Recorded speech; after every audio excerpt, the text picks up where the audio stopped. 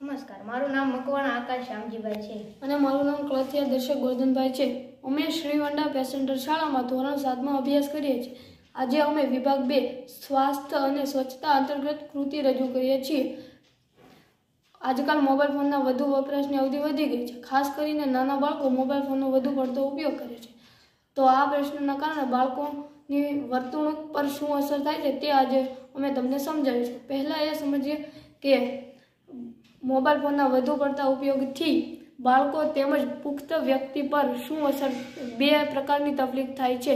પહેલું ફિઝિકલ જેમ કે માથાનો દુખાવો, ઊંઘની બીમારી, બાળકોમાં language disorder speech delay cervical આંખની તકલીફ રેડિયેશન પ્રોબ્લેમ મેમરી લોસ વગેરે. બીજું બિહેવિયરલ જેમ કે અણગમો વાયલન્ટ પછી ગુસ્સો અને ગુસ્સો અને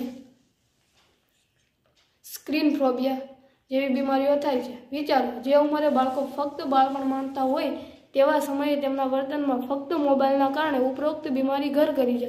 તો આપણું અને આપણા દેશનું ભવિષ્ય ચોક્કસપણે ખતરામાં છે તેમ પણ કહી શકાય. ઉપર અમે જેવા પણ બીમારીઓ જણાવી તે ડબલ્યુ એચ ઓ એટલે કે વર્લ્ડ હેલ્થ ઓર્ગેનાઇઝેશનની સાઇટ પરથી લીધી છે. તેનો અર્થ એ કે સમગ્ર વિશ્વમાં આ પ્રશ્ન પર ચર્ચા થઈ રહી છે. બાળકો, નાની ઉંમરે ગુસ્સાળું તેમજ સ્ક્રીન ફોબિયામાં પીડિત હોય તો વાલીઓએ વાલીઓએ વાલીઓએ મોબાઈલ વપરાશ પર પ્રતિબંધ મૂકવો જોઈએ.